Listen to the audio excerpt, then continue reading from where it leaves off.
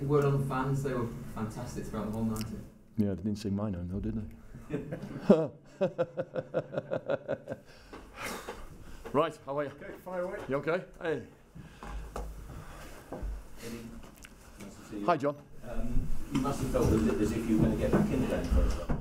Yeah, I thought we started the game really well. Um, we came with a plan. Um, I thought the lads were really playing some really good stuff.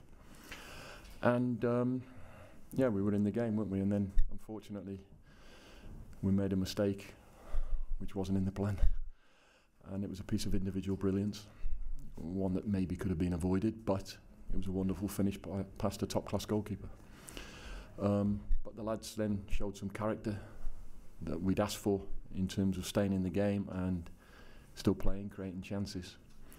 And as any coach will tell you, um, when you come to the big boys, you really have to, you have to take your chances when you get them. And I think we created three or four. You might, you might tell me differently, guys. But, um, but listen, we didn't take them, and then we should have won a ball in our half. Didn't win a 50-50.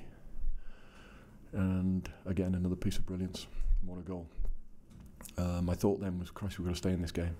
You know, I was really fearful because we had a number of players playing who hadn't played for a while. For instance, Moritz Bauer, who was outstanding. Um, he hadn't played since the 30th, 13th of December. Um, Bruno Martins Indi hadn't played since the 2nd of December. Stephen Ireland only his second game back. So obviously I was fearful of that. So we tried to shore it up, and then De Gea makes an absolutely world-class save. You know, appreciated probably even more by me because I was a keeper. Maybe people don't, well, they might not have thought I was a keeper, but there you go. anyway, you made a great save. And um, at 2 0, I just said to the guys, listen, we'll keep it at this shape. We'll stay in the game. And then in the last 15, 20 minutes, we'll change it. And I told them before what we were going to do. And um, unfortunately, Lukaku does what Lukaku does. And when you play the big boys and they've got that extra little bit of quality, they took the game away from us, you know. And yet we still had a chance at the end, but we probably didn't hurt them enough second half, you know. And you probably saw where our frailties lay at that aspect. But again, I'm not one to stand here or sit here, sorry, and make excuses because the lads gave me everything. They gave the club everything. I thought it was important that they showed some pride back, got some pride back, and I thought they showed the new manager some really encouraging signs. Okay. Any word on the fans? They were fantastic throughout the whole night. Yeah, they didn't sing my name though, did they?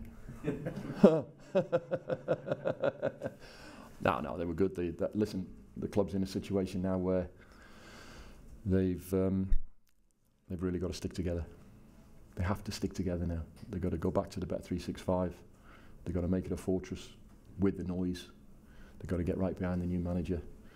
And um, listen, the good thing is, is that it's still very tight down there. I know our goal difference is horrific.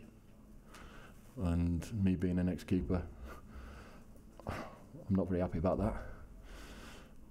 And I, I think one of the factors for that, and again, not trying to make excuses, but a huge factor in that is um, that we haven't been able to play the back same back three, back four, back five over a period of time.